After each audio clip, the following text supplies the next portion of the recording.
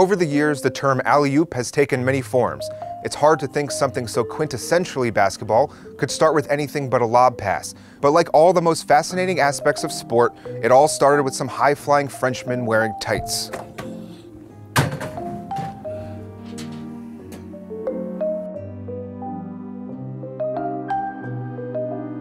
The term alley-oop is derived from the French term allez-hop, a phrase used by acrobats in the circus before a lift or a jump. It's kind of like saying, here you go, or let's go, so it's fitting. But the Americanized alley-oop took a hard left turn, entering the lexicon as the titular character in a 1930s comic about a caveman who traveled through time. We were closer with the circus people. The term entered the sports world in football, not basketball. It was part of the 49ers playbook where quarterback Y.A. Tittle would throw a jump ball to high jumping R.C. Owen. Fun fact about R.C. Owen, he once used his leaping abilities to block a field goal at the crossbar. But you can't do that anymore. All that bullshit aside, there are two different players that are most often credited with taking the alley-oop from the playground to the spotlight. Airline Al Tucker, who got his nickname from forcibly removing people from their bench spot, spots they paid for like everyone else, and David Thompson, one of the greatest ACC players of all time. Let's start with Airline Al.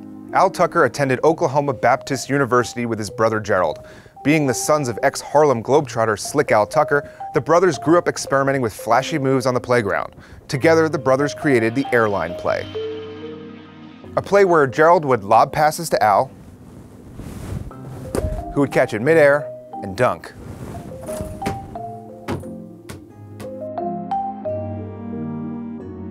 Al and Gerald may have been the first to do it on a big stage, but David Thompson and NC State were the first to make it a focal point of an offense, earning Thompson the nickname Skywalker in the process. With the alley-oop woven into the NC State playbook, Thompson became a three-time ACC Player of the Year and a national champion in 1974. He is the only player to ever have his number retired at NC State. But David Thompson only dunked once during his time at NC State. From 1967 to 1976, the NCAA enacted the Lou Alcindor rule, which made dunking illegal. Lou Alcindor, better known as Kareem Abdul-Jabbar, dunked on opponents so bad that the NCAA was just like, all right, you can't do that anymore.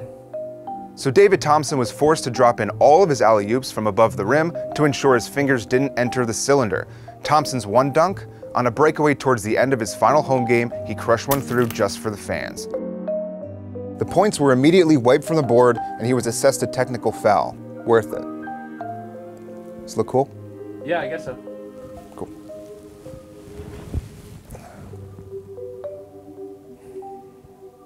In 1975, Thompson chose the ABA over the NBA. The ABA was more focused on the entertaining showmanship aspects of basketball than the NBA. They were first to have a three-point line, and in 1976, the ABA had the first ever dunk contest. The final round ended with Dr. J defeating Denver Nuggets high flyer David Thompson. In the 50s, Wilt Chamberlain would slam home bad shots midair. In 1961, there's evidence John Havlicek was throwing lob passes to Jerry Lucas while at Ohio State. There really isn't one defining moment when the alley-oop blasted onto the basketball landscape. But if you're looking for alley-oop pioneers, look no further than Al Tucker and David Thompson. And let's all just thank our lucky balls that dunking isn't illegal, because that would be fucked. Thanks for watching. If you have any ideas for other first videos, let me know in the comments. The less I have to do, the happier I am. While you're at it, hit subscribe.